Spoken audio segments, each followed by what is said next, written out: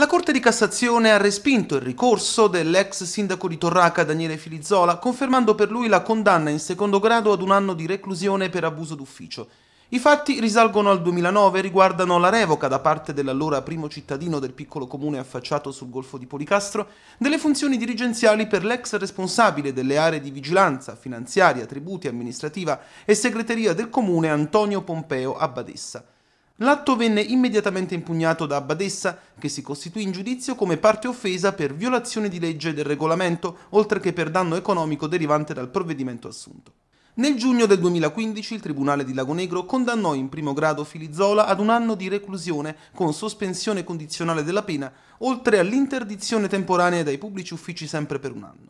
La sentenza venne appellata da Filizzola, ma la Corte di Appello di Potenza rigettò il suo ricorso confermando integralmente la sentenza di condanna in primo grado. Nuovo ricorso da parte dell'ex sindaco di Torraca. In Cassazione i difensori di Filizzola hanno motivato il provvedimento del proprio assistito come necessario e rispondente alle esigenze di contenimento della spesa della macchina comunale e alla riorganizzazione degli uffici, escludendo qualsiasi intento punitivo ma la Suprema Corte ha riconosciuto la violazione delle norme regolamentari e disciplinari dell'ente comunale che andavano adottate prima dell'adozione del provvedimento stesso di revoca.